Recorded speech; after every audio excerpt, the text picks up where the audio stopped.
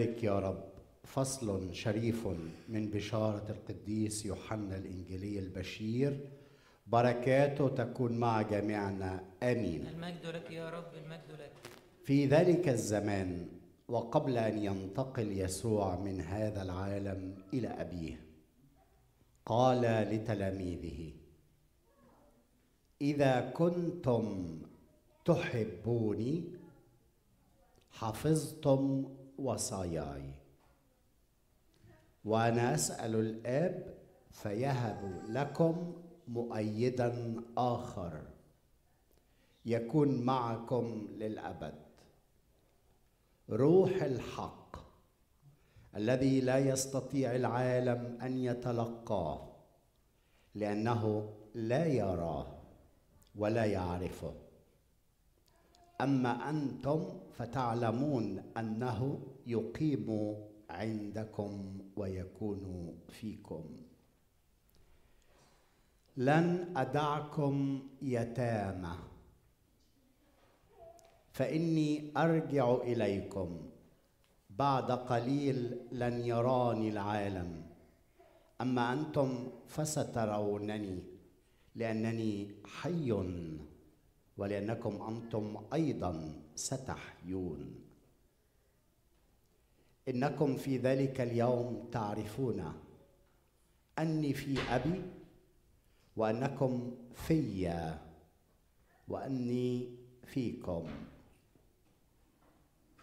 من تلقى وصاياي وحفظها فذاك الذي يحبني والذي يحبني يحبه أبي وأنا أيضا أحبه. فأظهر له نفسي حقا. والمجد لإلهنا دائما أبديا آمين. أهلا وسهلا بكم أيها الإخوة الأحباء في هذا الأسبوع السادس من زمن الفصح المجيد. المسيح قام كل سنة وأنتم طيبين. إنجيل النهارده بيتكلم عن الروح القدس والأسبوع الجاي لا هنحتفل بالصعود الأسبوع الجاي. الأسبوع اللي بعده هنحتفل بعيد نزول الروح القدس. عيد نزول الروح القدس بيبقى تكملة الزمن الفصحي كمال الفصح في نوال الروح القدس. مش كده النهاردة آه، القديس يوحنا من خلال المقطع الإنجيلي بتاعه بيكلمنا شوية عن الروح القدس. عايزين نشوف بقى بيقول إيه ونمشي معاه شوية بشوية. أتمنى إن ربنا يسبقني ويساعدكم ويخط في قلوبكم الكلمة اللي عايز يسيبها لك. اللي انت محتاجها. قد أكون اللي أنا بقوله مفيد أو مش مفيد مش دي المشكلة. لكن الاكثر إفادة هو إن الرب يسبقني ويجهزك لسماع كلمة هو عايز يقولها لك. فبيبتدي الإنجيل بيقول قبل ما يروح يسوع لأبوه يعني كان يوم خميس العهد قاعد مع تلاميذه في العليه وبتجهزوا للعشاء الأخير. كانوا فاهمين إنه هيسيبهم. وهيبقوا لوحدهم من غيره. هو هيروح يخش في ألامه فقبل ما يسيبهم بيقول لهم زي آه، كوماندما وصية. أي واحد كبر في السن قبل ما يروح السما كده ويحس بكده يجمع عياله حواليه ويبتدي يقول لهم وصية يا ابني انت تعمل كذا كذا كذا. انت خلي بالك كذا على عيالك. يا بنتي انت اعملي كذا. ما أعرفش لو عشتوا الخبرة دي. حد باباه قال له حاجة قبل ما يتوفى؟ حد فاكر؟ حد مامته قالت له حاجة قبل ما يتوفى؟ فاكر حاجة يا ماهر؟ ما ما معكش باباك ولا قال لك حاجة. ولا سمير؟ ما حصلش. حد حصل معاه حاجة؟ طب على العموم الآباء بيعملوا كده وده تقليد هتلاقوه في الكتاب المقدس.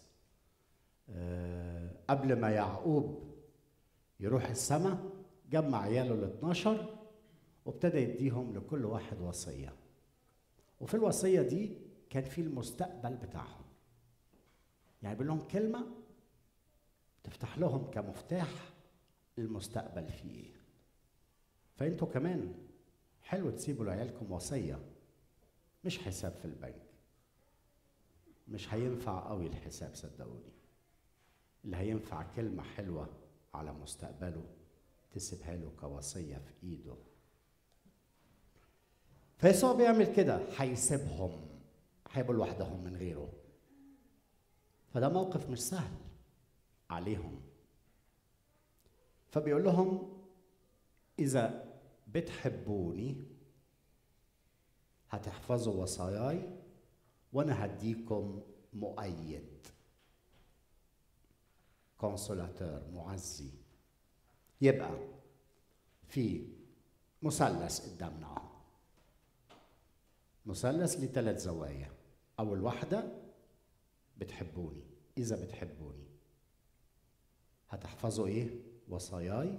الزاويه الثانية الزاوية الثالثة هديكم الروح المؤيد المعزي عايزين نفهم المثلث ده بعد كده بيتكلم على روح الحق عايزين نشوف النقط دي إذا كنتم بتحبوني إيه هي المحبة؟ إيه هو الحب؟ صحيح شوية مشاعر حلوة تحسها نحو الآخر بس ده مش كله المحبة هي إنك توصل إنك في عمق قلبك بتاخد قرار إنك تحب. فعشان كده مرتبط بالوصية. إيه هي الوصية؟ الوصية عبارة عن موسى ادى عشر وصايا. الوصية ترجمة مش حلوة للكلمة عبري. ادى عشر كلمات? ادى عشر كلمات اللي هي العشر وصايا. فالمحبة إحنا ما نقدرش نحب إلا لما الآخر متجاوب معانا. لكن لو الآخر مختلف تماما وضدي إزاي أقدر أحبه؟ عشان كده محتاج للوصية ومحتاج للروح. الوصية بتعلم قلبي اني اعمل كومبورتمون سلوك. أنا قررت أحب هذا الشخص وأغفر له. هايل. بس مش قادر. فالوصية تيجي تقول لي حبه. أقول له مش قادر. يوم يجي بقى طرف المثلث الثالث الروح. يعمل إيه؟ إيه هو الروح؟ المعزي. الباراكليتوس. عايزين نفهم يعني إيه معزي. consolateur celui qui console. Con avec. Solé avec le seul. يعزي من هو لوحده يسوع هيسيبهم فبيقول لهم مش هسيبكم لوحدكم هديكم اللي يكون معاكم في الوحده consolateur أنا من غيركم أنتوا لوحدكم فهيكون معاكم. بس الروح ده هو إيه؟ هو روح الحق. ده روحي. إيه هو الحق؟ هو يسوع الحق والحقيقة والحياة. اديكم روحي. فال consolateur هو اللي مش هيسيبك لوحدك لكن هو كمان ال Παράκλητος. باراكليو. بجانبك. يدافع عنك. مش هسيبك لوحدك ولكن نفس الروح اللي هو روحي أنا فيك مش بس مش هيسيبك لوحدك ولكن كمان هيدافع عنك. advocatus باللاتيني. يعني إيه؟ يعني المحامي. يدافع عنك ضد مين؟ ضد اللي هيعمل لك اكيوزي اللي هيتهمك المتهم. بالعبري المتهم ساتان. ساتان الشيطان بالعبري هو المتهم. دايما بيتهمك. قدام الله بيقول سفر الرؤيا. ويجي يقول لك كده شوف العيب اللي فيك ده مش هيتغير ابدا. الخطية دي أديك كل مرة تقول وتعترف وترجع لها تاني. أنت مش هتتغير ابدا. لما تسمع الكلمة دي افهم اللي بيكلمك هو المتهم ساتان الشيطان. لأن هو اللي بيعملك اكوزي هو اللي بيتهمك قدام الله ويحبط منك ويقلل منك. انت عيوبك دي مش هتتغير انت مش فالح انت عمرك ما هتفهم. انت ليا وبس ده الشيطان ده ساتان يقعد يتهمك. أو يتهم الآخر بالنسبة لي. جوزك عمره ما يتغير. وخلاص بقى رميتي طوبته. ليه؟ مش عشان هو وحش وبيعمل حاجات غلط. عشان أنت صدقتي المتهم. اللي بيتهمه قدامك. إنه مش هيتغير. لكن الروح القدس قادر يغير الشخص وقت ما هو عايز. فدايما يبقى عندنا رجاء ده. لما نحكم على حد ونتهمه نفهم إنه ده من الشيطان. فبيقول لك إيه؟ أدي لك الباراكليتوس المعزي اللي مش هيسيبك لوحده ولكن لوحدك. ولكن كمان هيكون جنبك يدافع عنك وقت ما أنت متهم. ادفوكاتوس يقف يحامي عنك يوشوشك كده ويقول لك كلام يقول لك مش صح. اللي بتسمعه ده ده المتهم. إنما أنا اسمي روح الحق. إيه هو روح الحق؟ إيه هو الحق؟ الحق هو شخص هو يسوع. بيتقال إيه الحق باليوناني؟ اليثيا البنت الاموره اللي هناك دي اسمها اليثيا حلو ادوها اسمه حلو. بس يعني إيه اليثيا تلاقيكي مش فاهمة الاسم اللي اديتيه البنت. إيه؟ الحقيقة. يعني إيه الحقيقة؟ هنا تقولي لي مش عارفة. عارفة إيه الحقيقة؟ الحقيقة شخص. بس ترجمة الكلمة إيه؟ الإتيمولوجي بتاعت الحقيقة. روح الحق. اللي هو إيه بالظبط؟ ا يعني ابريفياسيون يعني مش. لاتيا الاوبلي النسيان. يبقى هديكوا روح عدم النسيان. النون اوبلي اليثيا النون اوبلي كوا نسيان كوا إن ربنا بيحبك. هديكوا الروح اللي يفكرك على طول إن ربنا بيحبك في كل موقف. وفعلا إحنا إمتى بنعمل خطية؟ عارف إمتى بنعمل خطية؟ لما تحس انك مش محبوبة. وقتها بتعمل خطية.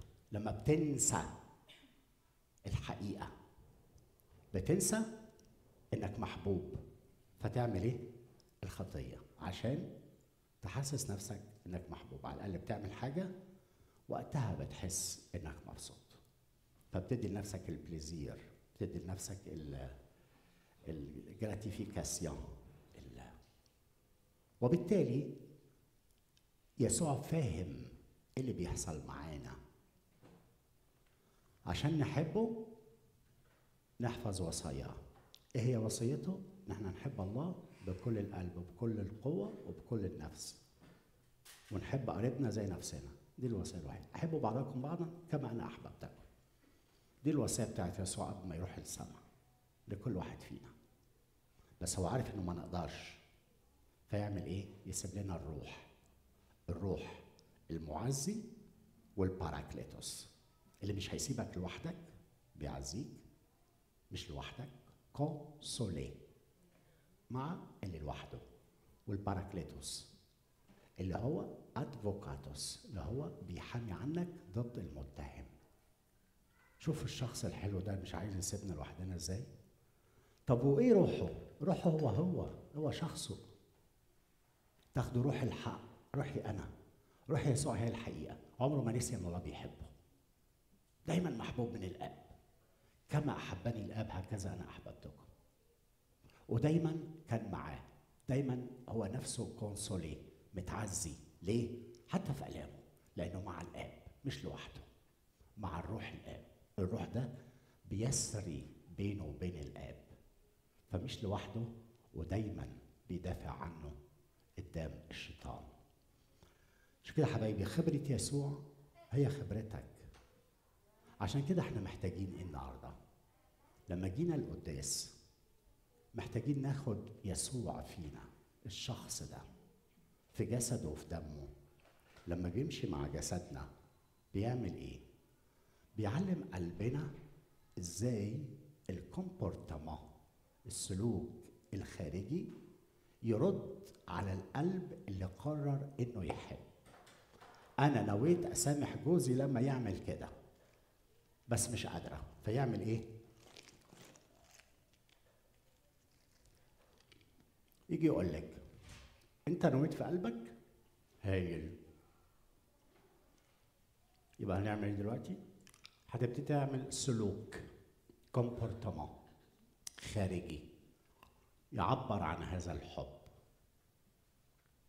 فتيجي أعمل حاجة صغيرة خالص تقول له ميرسي تقول له كلمة صغيرة فيبقى دايرة مستمرة بين السلوك والحب في القلب.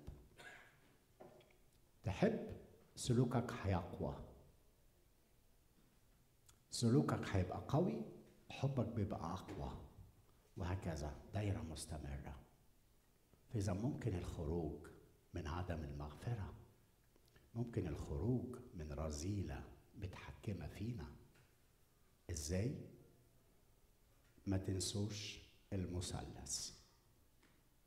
من يحبني يحفظ وصاياي وأعطيه الروح القدس. اللي هو روح الحق. وما هو الحق؟ ألا تنسى أنك محبوب. هذا هو الحق. ده اللي من حقك إنك تعمل الخبرة إنك محبوب. وإنك محبوبة وقت ما حدش قادر يحبك بسبب ضعفك وخطاياك ورذائلك ما حدش قادر يقرب منك بسبب ريحتك. بسبب سلوكك بسبب معرفش إيه. في حد اللي بيحبك وقتها زي ما أنت. ده روح الحق ده يسوع. اللي النهارده في المناولة جاي يسكن فيك عشان سلوكك الخارجي يبتدي يعبر نحو الأشخاص اللي أنت حطيتهم على جنب إنك